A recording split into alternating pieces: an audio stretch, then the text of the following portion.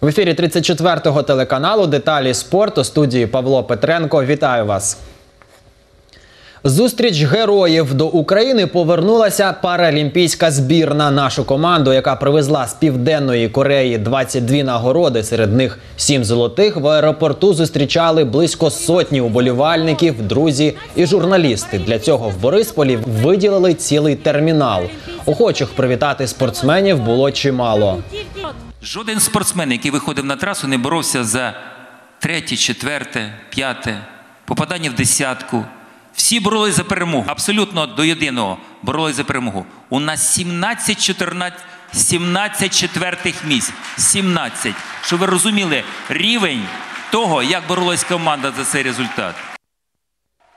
Фантастичний результат вдалося досягти Оксані Шишковій. Спортсменка із Харкова, яка має ваду зору, виграла 6 медалей у біатлоні і лижних гонках.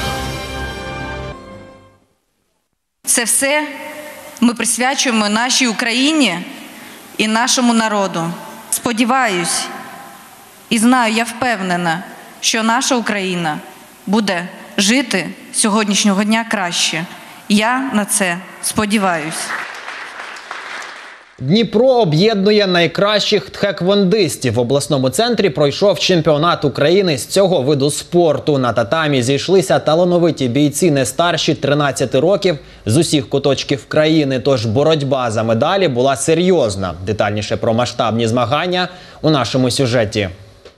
Майже 800 атлетів з усієї України. Такий склад учасників зібрала національна першість Тхеквондо ITF. Відповідальний старт для бійців від 7 до 13 років, які ще не мають червоних поясів. І не менш відповідальна подія для Дніпра як господаря турніру. Были у нас взрослые чемпионаты, мы проводили открытые кубки, но детский а, официальный чемпионат мы проводим первый раз. Розпочався турнір з тулю. Це спеціальні захисні атакувальні вправи. Показують їх на килимі двоє, а перемагає один.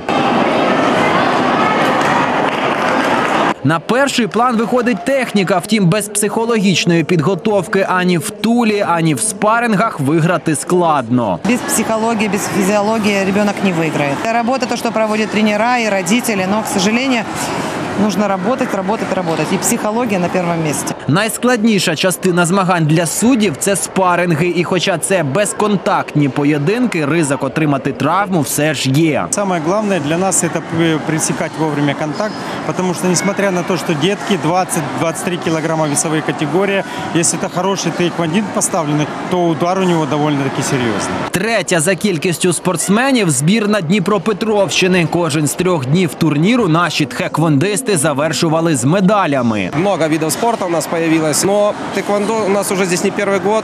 Э, За много лет мы очень неплохо э, ра- развили эту структуру.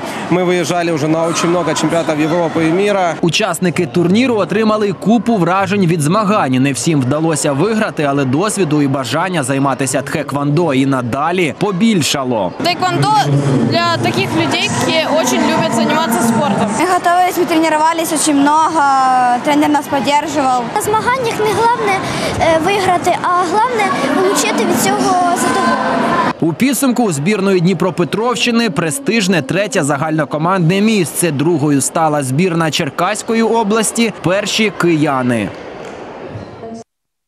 Баскетбольний майстер-клас від наставників Дніпра до спортивної школи Олімпійського резерву номер 5 завітав головний коуч Денис Журавльов та тренер з фізичної підготовки Дніпровського клубу Михайло Мостовий. Останній зосередив увагу наставників спортшколи на вправах для покращення балансу і рухливості гравців. А ось Денис Журавльов присвятив семінар діям баскетболістів під час захисту і швидкого переходу з оборони в атаку. Неформальный такой семинар, да, он прошел немножко в другой э, такой атмосфере. Хочется, чтобы это стало традицией. І в мене це всі новини на сьогодні. Ще побачимось.